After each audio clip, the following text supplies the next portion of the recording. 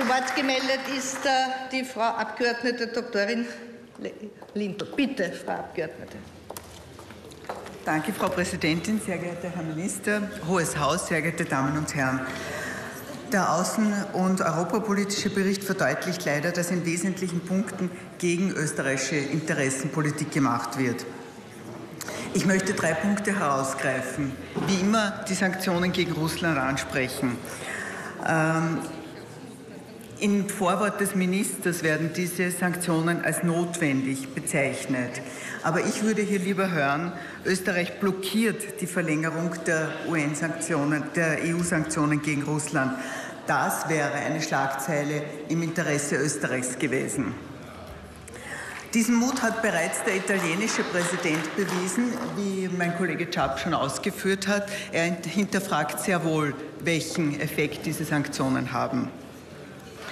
Die traditionell guten wirtschaftlichen und politischen Beziehungen zwischen Österreich und Russland werden aufs Spiel gesetzt, wenn Österreich weiterhin nur am Gängelband der EU bzw. USA hängt und diese Maßnahmen mitträgt.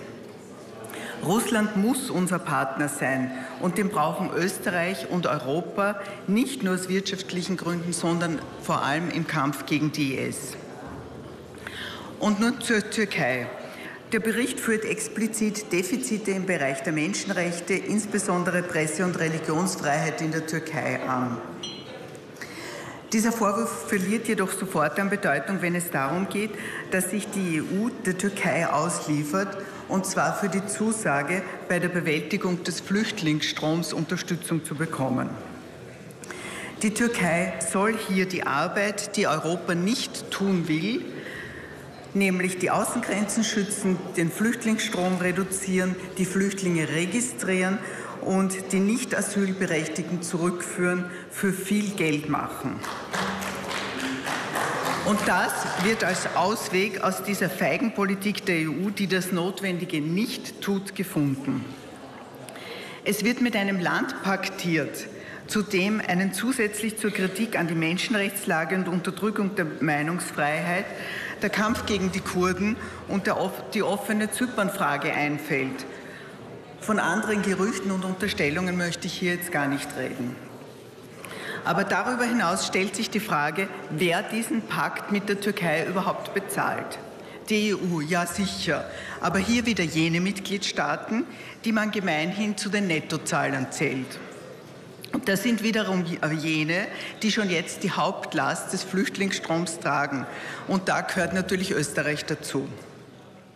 Und durch die erpresserische Forderung der Türkei, die EU-Beitrittsverhandlungen wieder aufzunehmen, werden wir dieses Land bald wieder in, unsere, bald in unserer Gemeinschaft haben. Nicht wieder.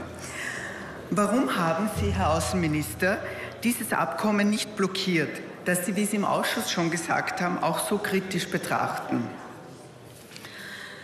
Kritik verdient auch die Integrationspolitik. Im Nationalen Aktionsplan für Integration wurde klar die Vermittlung österreichischer Werte und die deutsche Sprache als Basis für das Zusammenleben angeführt. Dass dies nicht gelungen ist, zeigt, dass kürzlich im Rahmen eines neuen 50-Punkte-Planes für Integration wieder ein Wertekatalog vorgestellt werden musste, der Schulungen in Menschenwürde und Gleichbehandlung von Mann und Frau vorsieht. Mangelnden Integrationswillen unterstelle ich vielen der in Österreich lebenden Muslime. Würden sie sonst ihre Kinder in muslimische Kindergärten schicken? Dort wird nicht in deutscher Sprache unterrichtet. Man schottet sich ab und lehrt die Kinder Werte, die nicht mit unseren verfassungsmäßigen gewährleisteten Rechten übereinstimmen. Diese Kindergärten gibt es seit vielen Jahren. Tausende Kinder haben sie schon besucht. Und nicht zuletzt dadurch wird die Bildung einer Parallelgesellschaft gefördert, die wir alle nicht wollen und die gefährlich ist. Hier hat die Integrationspolitik massiv versagt. Ihr klares Aufzeigen dieser Problematik und vor allem das heutige Bemühen in Sachen Kindergärten nehme ich aber als ersten Schritt in die richtige Richtung zur Kenntnis. Dankeschön.